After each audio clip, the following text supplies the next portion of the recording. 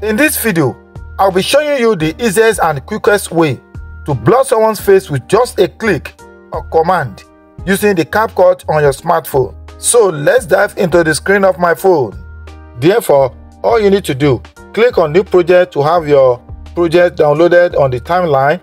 Then I want to make use of this, I click on it. Then I will need to click on add to have it downloaded on my timeline. This is it. Then the next thing I'm going to do on this, I will need to come to the bottom here and click on effect. Then from there, I'm going to click on body effect.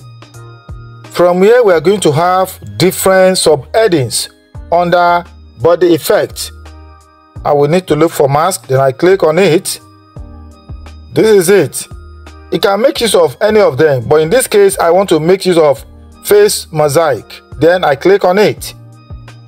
Then I will need to click on it again. Then look at it, the range, I need to adjust it. Then I will fix it for 100. Then the size, I will fix it for 100 as well. This is it. Then the next thing I will need to click on the check mark here. This is it.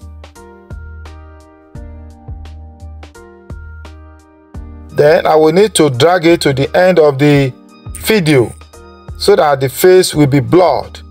Let me play it. Look at it. Hardly be able to identify the face of that person in the video. That is how to blur someone's face in your video using CapCut app. If you have found this video very useful, please subscribe to my channel, give it a thumbs up, drop your comment on the comment section as this really helps the YouTube algorithm. Thanks for watching. Bye for now.